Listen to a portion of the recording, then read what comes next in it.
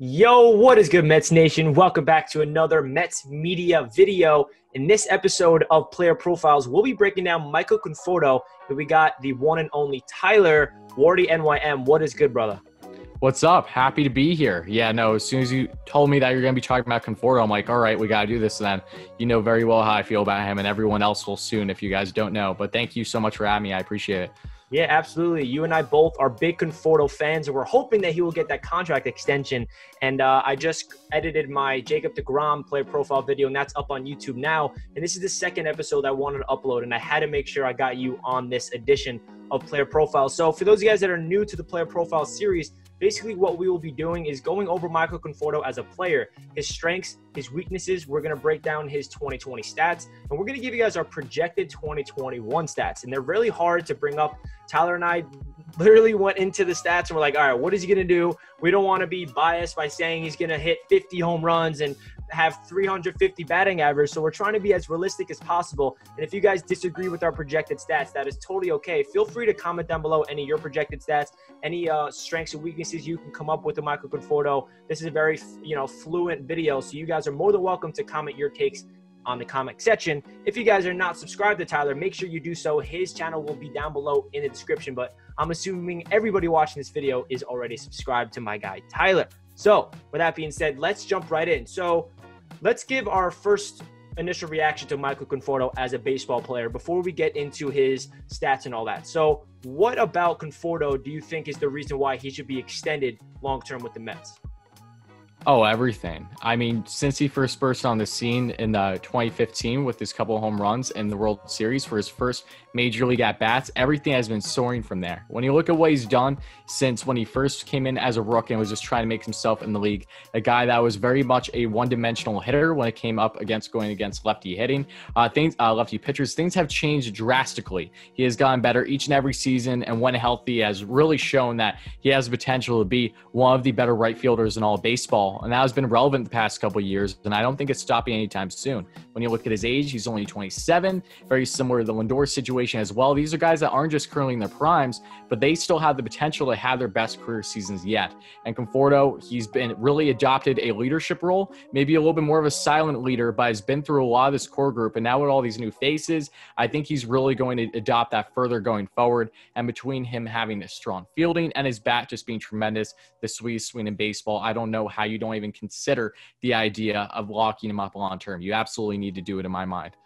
Yeah, man, we hope that he will be extended before the season starts. We saw that Michael Conforto talk to the media and he got asked about it. And he said, you know what, to be honest, that's not on my mind. I'm focused on this season, which he should be. He should not be worrying about that stuff. Let his agent take care of it. But let's hope that ramps up because I want Conforto and especially Francisco Lindor locked up long term. So my take on Michael Conforto is right when he got called up as his rookie season, he hit those two home runs in the World Series. I'm like, he's my new favorite player. Michael Conforto, I feel like every single year he got better and better. If you look at his stats, it proves that. And, you know, sometimes Michael Conforto gets rattled. We're going to get deep into his weaknesses and his strengths. But the one thing that's going to make or break his career to become one of the best outfielders in baseball, I think, is going to be his consistency. I feel like that's the one thing that has been holding back Conforto. He gets in a hot streak, you know, 10 games in a row, and he's batting like over 400 in that 10 game span. And then all of a sudden he gets in a crazy slump. He's striking out. He's not seeing the plate at all. So I think that's what's going to happen with Conforto. He needs to get into a rhythm, and I feel like he has the work ethic to do that. And I like how he's only 27 years old, and I feel like he has potential to be one of the best outfielders in the league. The best, I don't think so, but definitely top five, top 10, and he can solidify himself. And like Tyler said, he has one of the best swings in baseball. So, with that being said, let's get right into his stats. So, in the year of 2020, we know that it was a shortened season, right? So, we have to take that into consideration. Um, so, his 2020 stats look like this he batted 322 from the plate. He had 31 RBIs, nine home runs. His OBS was 412. His OPS was nine, uh, 927, and his slugging percentage was 515. So, what's your take on his 2020 stats? Oh, I thought they were tremendous. You know, talk about a guy taking full advantage of the shortened season. Conforto, like Dom Smith in a lot of ways, like a lot of the Mets hitters, really did that to a T. Uh, Conforto really popped off beyond, I think, what we would expect. A healthy Conforto finally showing out what he can do. It really is upsetting not being able to see him in a full 162 last year, just how dominant he would have been. I think he really would have been up there for possibly at least one or two awards. Uh, definitely um, Silver Slugger among some others. But yeah, no, he really showed that he is not just here to stay, but he is one of the best players on this team currently. And he's still only getting started. What he has been doing opposite field and against both righty and lefty pitching, respectively, has been amazing. Night to night, it looks like this guy, you're expecting at least one hit out of him. He's getting that consistency. The average is going up. And it's really exciting to see what he's going to be able to do for the Mets in this upcoming season from what we have seen in the short span. It's very enticing to put it lightly. Yeah, and as we know, the 2020 season was shortened, but I really think this was a breakout season for Conforto because if you look at these numbers, they're pretty ridiculous. And like you mentioned, I feel like one of his biggest weaknesses when he came into the league is hitting against those lefties, and he he showed in this season that he can do that, and that's going to make or break Conforto as a baseball player as well. Can he hit consistently against the lefties? And I feel like he proved last year to do so. And I wish we got to see a full season of Conforto because if he could could have kept up this pace and batted over 300, obviously that's a stretch because he only had 202 at bats. But if you look at this small sample size, it gives us a lot of hope for the future. So let's get into our projected 2021 stats. So these are really hard to come up with. And again, if you guys disagree and you guys want to comment down below your projected stats, please feel free to do so. So Tyler and I came up with these right here. He will be batting 283 from the plate, 97 RBIs, 36 home runs with an on base percentage of 380, OPS of 880, and a slugging percentage of 500. So, Tyler, why do you think he could potentially come up with these numbers this season? All right. So there are a couple things that really stand out to me in regards to Conforto as to why I think he's going to really pop off for the upcoming season. But let's start off with the contract extensions because I think those are really important as well. As we know at the time of recording this, Conforto currently does not have an extension in place, and he can take that in a positive or a negative way going into the season should there not be one. I really hope he's extended. He deserves a bag. If he gets it before the season, then great. That gives him incentive in itself to really start to show out, knowing that he's going to be with this team long term, presumably. But if it doesn't happen, that can also give him further in- incentive to make sure that he does pop off and have his best career seasons to date because he will be a UFA at the end of the year. So either way, I think the extension talks will benefit him one way or another. I think he has a good head on his shoulders.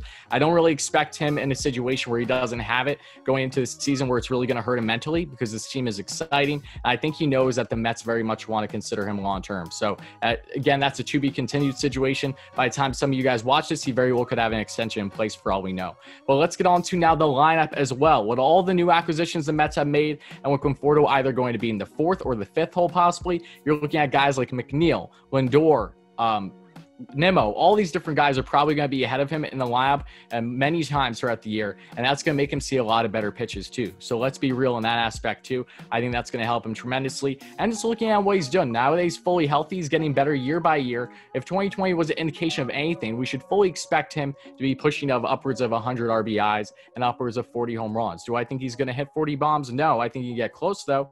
And do I think he's going to get upwards of 100 RBIs? I do. He's going to have more runners in scoring position than he probably ever had in his career with how this lineup shakes up. It's easily the best offensive lineup I've ever seen the Mets do. So I think all those factors go in, but especially with the lineup around him and how good this team is going to be offensively, he's going to see better pitches. He's going to be in better situations, get those guys in through RBIs and everything in between. So uh, those were just a few of the main factors I believe are going to lead to Conforto and having these kind of numbers. And it's even humbling him to an extent because it won't be, um, you know, out there to say that he's going to go even far beyond what we have said. But I think we picked some solid numbers to begin with here. Yeah, absolutely, man. I feel like these numbers are realistic. So, again, if you guys want to comment your projected stats, please feel free to do so. Now, we're going to segue into his strengths and his weaknesses. So, these are really fun to come up with. We're going to go one over another. So, the first strength I came up with is plate discipline. I feel like this is something that is part of his evolution as a ball player. He definitely did not have the best play discipline when he first came into the league, but now he has a really good eye at the plate and he gets on base a ton. I mean, if you look at his stats last year, his on base percentage was 412. Yes, I know it was a shortened season, but that is a tremendous number to being on base. And I feel like he does not swing at bad pitches as much as he used to as a rookie and as a young player. So this is definitely a big strength for Michael Conforto and a reason why he is such a good hitter. So if you want to go over the next strength we have, which is his opposite field power. Oh yeah, for his opposite field power, uh, that is one of the things I love the most about Conforto. Be quite honest, this is a guy that hits doesn't just hit for oppo, but hits for power and also hits for consistency when it comes to contact. But yeah, no, that power is great. This is a guy that can spread the field as a lefty, lefty on lefty, can still take them oppo taco like it's nothing. And he's been showing that out for the past couple years now. I just love the fact this guy sprays the field some of the best I've seen out of all the Mets in quite some time. And I think as long as he can continue that,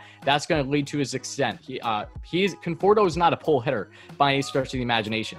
And I think that is really what's going to help take him over the hump of a lot of other right fielders in the game that people believe are currently higher than Conforto. It's his opposite field power. It's his overall ability to spread the field that's going to continue to lead him to success. I love it. That's one of my favorite aspects of his game. Yeah, and another strength I have, which is pretty much the same thing as opposite field power, is the the ability to spray the ball over the field. He's not a pull hitter like Tyler just mentioned. He can have a nice opposite field single down the left field line or even a double. He's just very good at taking what the pitch gives him, and he does not you know, he's not impatient. He just waits on the, the best pitch possible. And I love that his ability to spray the ball because not every ball player can do that. Keith Hernandez, that's his favorite part about hitters at the plate, the ability to go opposite field. That tells you if they're a good hitter or not. Another good strength I have is his contact hitting. He's not known to be a powerhouse type of hitter, but at the same time, he does hit nukes. I mean, his career high home runs came in 2019 which was 33 home runs. And that's crazy because he's not known to be a power hitter, but he can still hit a lot of home runs. And that's a really good sign. What else do you have to add on Conforto being a contact hitter? Yeah, I think it's tremendous. Yeah, you're right. This is a guy that you don't necessarily expect him to be a huge slugger, if you will, but he just has a perfect balance in my mind. He, in, in a lot of aspects, you can see the Pete Alonso in him with knowing that he can push upwards of 40 bombs in his career still. You see the Jeff McNeil in him, where what we have seen, at least in the 2020 season, could be telling of him being getting closer and closer to upwards of a 300 average. And he, what he has stayed also this year in spring training leading up to season is that his success has definitely went in hand with not focusing too much on the home run ball and just focusing on making contact. And as you alluded to already, taking what the pitchers are giving him. That has been a huge part to his success. I think he's emphasizing that more than ever. So it doesn't really matter if he hits a bomb, a single, a double, or even a uh, triple every once in a while. He's going to be consistent getting on base one way or another. And I just love everything about him in regards to that aspect with his bat as a whole, with making sure that, yes, he can both hit for power, but he can hit for contact any and every day of the week. And if 2020 was an indication of anything, if he's pushing upwards of 300 in his average, then watch out MLB because this guy is going to be dominant. Absolutely. And the last strength that I came up with is he's an average arm. So this isn't the best strength that he has, but this is something that we definitely want to talk about because he has the ability to throw people out at the plate. He has the ability to throw people out at third base if they're trying to extend a hit from first to third. But this is not his best strength, right? He's an average guy in right field with an arm. We're going to get into his weaknesses as well with his glove. But what do you think his arm is in right field? Do you think it's something that we should talk about a strength or weakness? I would definitely say it's a strength from from everything that I've seen at Conforto. He's never been really too much of a liability with his arm. Um, does he have a cannon like Prime Cespedes? Not necessarily, but this guy still has a great arm as it is. I've, we've seen him drill guys out all the way at third and at the plate at times these past couple years. I think we're going to see more defensive assists from him going forward in this upcoming season and beyond. His arm is really strong. It's perfectly fine for what you're getting with Conforto. I don't think it's a liability. Definitely. And the last strength, actually, I forgot about this one, is he has one of the sweetest swings in baseball. So we got to bring that up because it's just a thing of beauty when you watch Michael Conforto. Look at this swing right here. A thing of beauty. So now let's get into his weaknesses, right? So the weaknesses we came up with are consistency. Consistency is something that is going to make or break his career. And I feel like if you guys watch my Jacob DeGrom video, this was a big strength of DeGrom and why he is so great. I think consistency in no matter what you do in any sport, that's going to determine if you're a great player, if you're an elite player, an okay player, or an average guy. It all determines are you going to be really good day in and day out. And that is something that Conforto kind of battles with throughout his career. I think he's getting better. I feel like last season we saw a very consistent Michael Conforto in only 54 games. But can he stretch out his consistent play for 162 games? That's something that we need to notice because he definitely has some 10 game stretches where he goes off and then he just kind of like falls off and goes in a little slump. So another weakness that I want you to talk about is a strikeout slumps because sometimes Conforto does get into those where all of a sudden he's getting those 3K games and it's not looking good. So do you want to talk about that?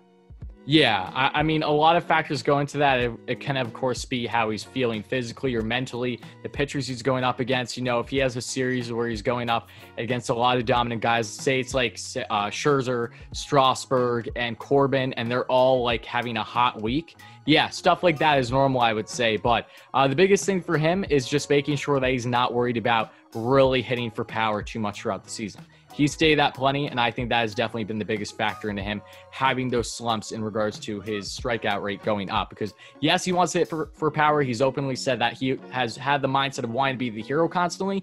But at the end of the day, taking what the pitchers give you is crucial, and I expect him to do that playing more this upcoming season. But to date, up to this point, it has been an ongoing issue with him where he has had those slumps, as you mentioned, where he's just striking out more often than not throughout a certain week, where it's just like, what's happening here? And then unfortunately, it does have a strong effect on the team because Conforto is very valuable here. It's not like, uh, you know, if he slumps, that everything's going to be fine. Yes, they have a great lineup from him now, but even then, he's still a crucial part to this team. So you have to look at those strikeouts and just hope for his sake that they aren't as relevant in the upcoming season, that he just focuses on hitting for contact to an extent a little bit more than maybe the power if he's going to be pulling.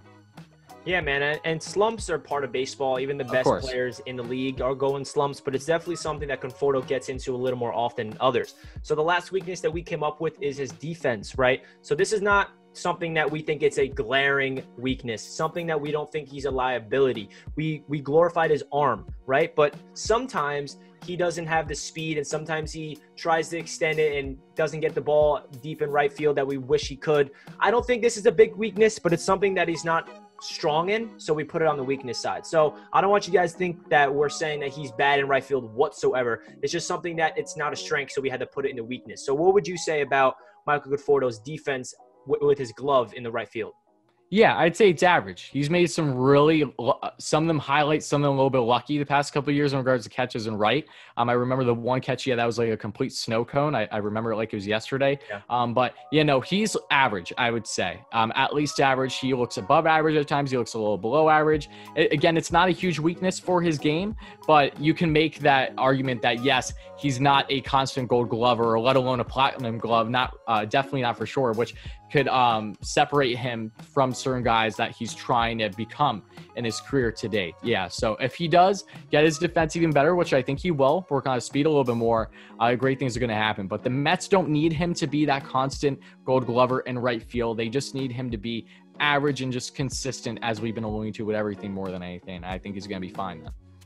Yeah, so that really does it for our strengths and our weaknesses. So to finish off the video, we're going to give our overall expectations from Michael Conforto in this upcoming season. You guys saw our projected stats, so you kind of saw our projected what we think he's going to do. But to, just to finish it off, what do we expect from Conforto for a full season? Last year, we saw a very small sample size of Mike, and he just absolutely thrived. So what are your expectations from him? Do you think he's going to be consistent throughout the year? And what makes you confident that he is the guy that the, that, that the Mets should uh, extent? I think Conforto is going to have his career season this upcoming year. Uh, I think everything just lines up for him. Extension or, extension or not, this lineup is going to have such a drastic impact on him. And again the pitches that he's going to be seeing and i think just how he's going to be utilized. And let's not forget this new regime now too and how they're heavily emphasizing you know advanced metrics advanced analytics in certain aspects. You know it, situational hitting is going to be more relevant with the mets than ever this upcoming year. And i think that between how they have this new regime and how they have this great analytics group and how conforto has really ba- uh, popped off over the past couple years everything is aligned for him to really have a breakout year and again, I just think the pitches is going to be a huge thing for him. His confidence is at an all time high. And if he gets a contract, especially before the season, then his confidence is going to be skyrocketed. And if it doesn't, then he's going to have a chip on his shoulder because he's going to be like, I'm a damn good right fielder. I'm one of the best in the game right now. I want to prove it. I want to prove everyone wrong and maybe as to why uh, extension talks didn't start then. But again, that's all time will tell type situations. If he gets it, great. If he doesn't, I don't think there's too much to worry about yet. But yeah, no, Conforto in my mind is going to have a career season in more ways than one. Yeah, I agree. I couldn't agree more. I think that the addition of Francisco Lindor is only going to help Conforto in the lineup because if he's batting behind him, woof, the pitches he's going to get are going to be beautiful, especially with Pete Alonso behind Conforto and then Dom Smith. So our offensive line nasty. is nasty, it's deep, and it's going to be exciting. So that does it for this player profile of Michael Conforto. Thank you guys so much for tuning in. If you guys stayed until the end of the video, comment down below a Statue of Liberty emoji so we know you were here until the end. And if you guys enjoyed, do not forget to hit that thumbs up button. Hit that Tyler, button, baby. Thank you so much for joining. I really appreciate it. Stay tuned for more player profiles. Also, if you want to comment some players you want to see me break down next, I already did Jacob DeGrom and now Michael Conforto. I think next up I'm going to do Francisco Lindor and then go from there. So again, Tyler, thank you so much for joining. Any last things you want to say about your channel? No, just thank you so much. And everyone that doesn't know, we have a weekly segment called New York Mets Talk that we do on both my channel and his respectively. So we bounce back and forth each week to kind of weight things out evenly. So make sure to chime in if you're interested. Make sure not to to, uh, to subscribe to me. Make sure to sub to him as well. He's doing great content here. I love these player profiles. Michael Conforto is a beauty. I'm really excited for the remainder of the series and what you have next with your Mets channel.